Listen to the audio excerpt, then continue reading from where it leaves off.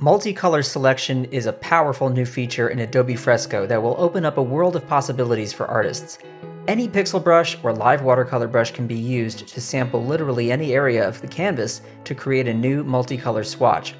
The swatch is added to the color history and immediately loaded onto the brush, allowing for a wide range of painting effects.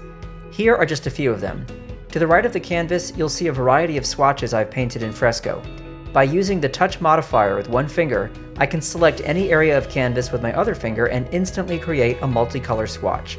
Zooming allows me to control the size of the area I'm selecting, which makes it very easy to control.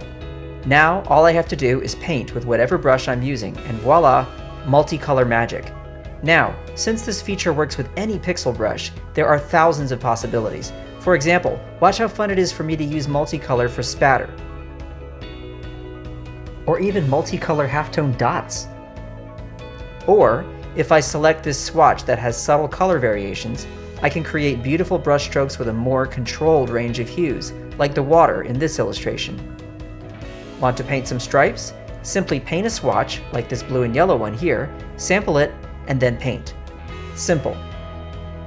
This green sphere that I painted looks three-dimensional, and all of the brush settings in Fresco allow for even more options, by using a simple round brush with tight spacing, I can take that swatch and paint a 3D tubular shape like this.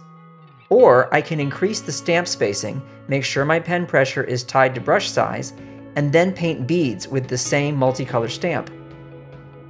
One of the most innovative aspects of this feature is the ability to change the hue, saturation, and value of any multicolor stamp with the HSB sliders in our color window.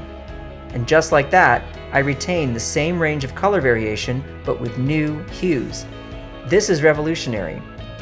What about creating custom brushes on the fly?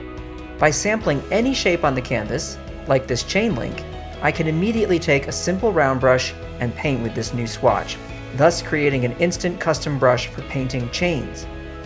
Another example of this is shown in this painting. I quickly painted the leaf shape off to the right, I then sample it as a multicolor swatch, and by controlling the spacing and shape dynamics in my brush settings panel, I'm able to paint a leafy vine with absolute control. Live watercolor brushes can even be used with this feature, as I mentioned earlier, which means you can paint with real, wet media using any number of colors at the same time. Multicolor swatches are an Adobe innovation that will change the way digital artists work, and we've only begun to explore the possibilities of this new feature.